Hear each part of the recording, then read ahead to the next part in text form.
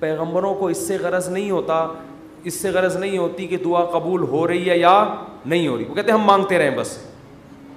हमारा काम क्या है? और याद रखो, जब कबूल ना हो रही हो ना, फिर मांगने का मज़ा है। मज़ा कब है?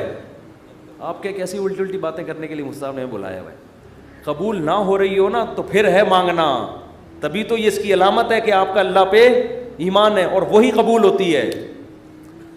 बाज़ दफ़ा अल्लाह, आप अल्लाह से जो चीज़ मांगते हैं, अल्लाह वो नहीं देता, उसका ऑल्टरनेट दे देता है। एक साहब का फ़ोन आया, मुझे किसी से इश्क हुआ हुआ है और मैं दुआएँ मांग मांग के थक गया, फिर भी नहीं हो रही शादी। आजकल तो लड़कों के यही मसाइल हैं, मांग मांग के दुआएँ थक गया। तो आप कहते हैं दुआएँ कबूल होती हैं। मैं तो फिर इस पर और तड़का लगा देता हूँ। मैं कहता हूँ, बहुत से लोग कहते हैं, हम जिसको मांग रहे हैं वो मिली नहीं। चलो, नहीं मिली, मुकद्दर में होगा। दुआ कबूल नहीं हुई। मुफ्ती साहब कह रहे हैं, दुआएँ क्या होती हैं? कबूल। लेकिन उसकी कहीं और शादी की खबर हमें मिल रही है। तो अल्लाह अगर दुआ कबूल नहीं करता तो कम अज़ कम ऐसा तो ना करे ना कि उसकी कहीं शादी हो रही है और हमें इत्तला मिल रही है। खुशी खुशी लोग बता रहे हैं, तुम्हें पता है उसकी शादी हो गई? चलो, यहाँ तक भी बात समझ में आती है। उसके बच्चा हुआ, हमें इत्तला दी जा रही है आगे अरे, तुम्हें खुशखबरी सुना है वसीम भाई? कोई वसीम बैठे हो तो माजरत।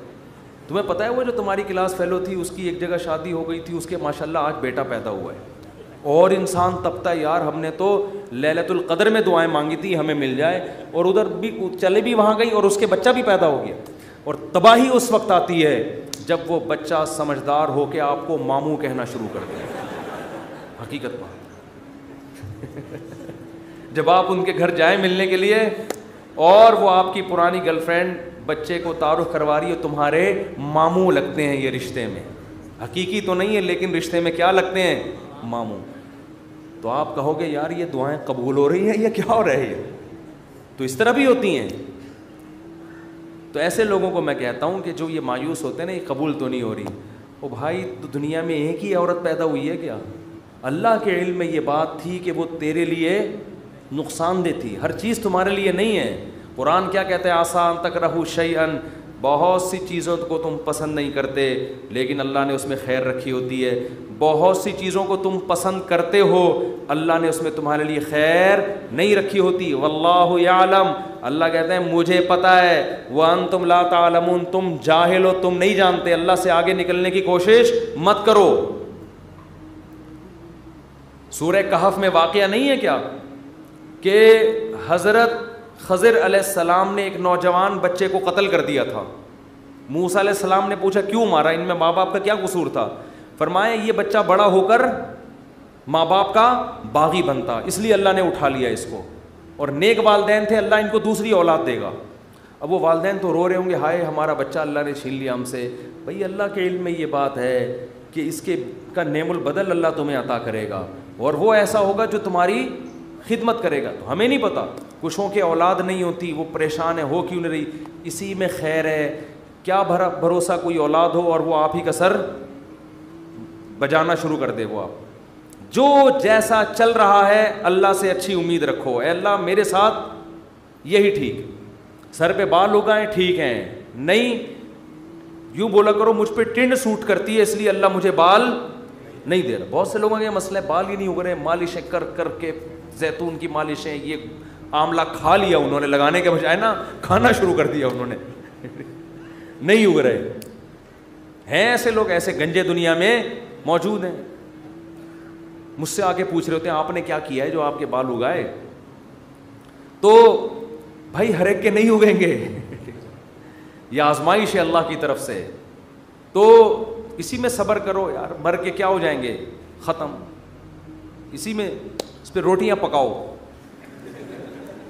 जब एक बड़ा सर हो ना और बड़ी खूबसूरत सी टिंड हो तो मेरा तो दिल करता है इसको धूप में गर्म करके इस पर चपातियाँ।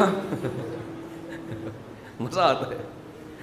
सर भी बड़ा हो और तमीज़ से बना हुआ तो एकदम एक ऐसा ऐसा फील सा होता है। खैर, ये तो मज़ा, उस पर एड्रेस लिख लो। कभी गुम नहीं हो गया आप।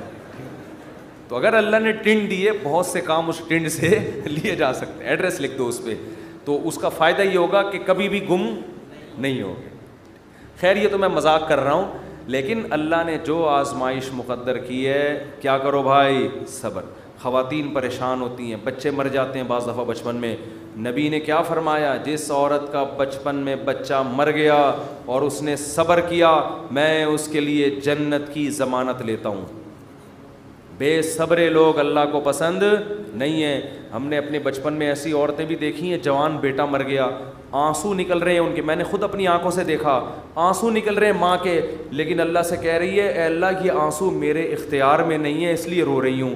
कहीं तू मुझे बेसब्रे लोगों में शामिल ना कर लेना। मैंने ऐसी औरतें देखी हैं बचपन में।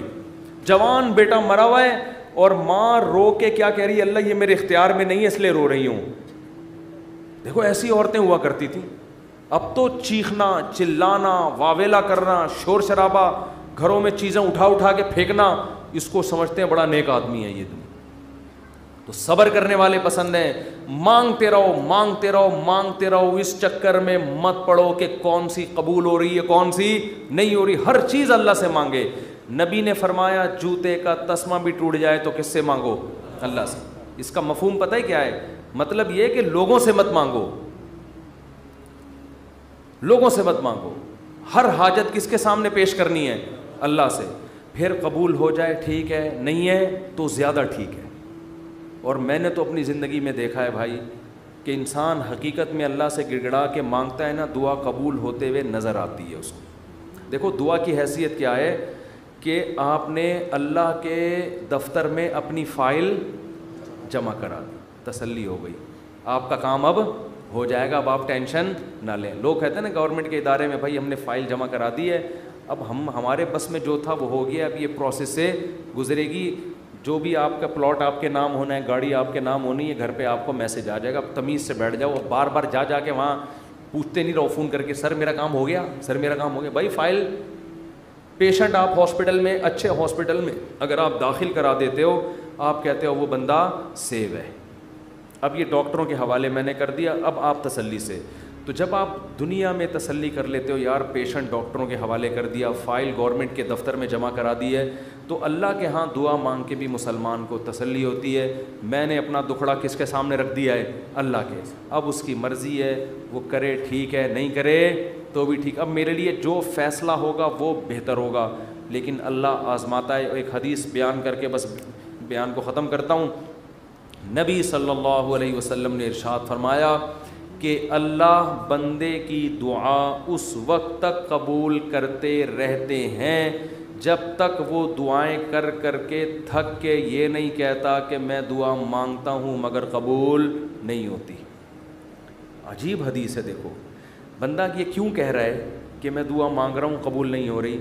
इसलिए कि उसे लग रहा है ना कि जो मांग रहा हूँ वो मिल नहीं रहा। तभी तो कह रहा है। लेकिन नबी कहते हैं जब तक ये अल्फाज नहीं कहते ना इससे पहले सारी कबूल हो रही थी। सारी कबूल हो रही थी। जब ये कहा तो अब अल्लाह कबूल करना बंद। तो इससे लग, साफ़ पता चल गया कि आपको जो लगता है ना कबूल नहीं हो रही वो भी हकीकत में हो रही हैं। वो हो रही हैं कबूल आप। ये हम बेवकूफ़ है जो हम समझ रहे हैं कि नहीं हो रही।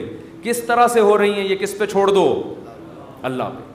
तो अपने घरों में दुआओं का मामूल बनाएँ।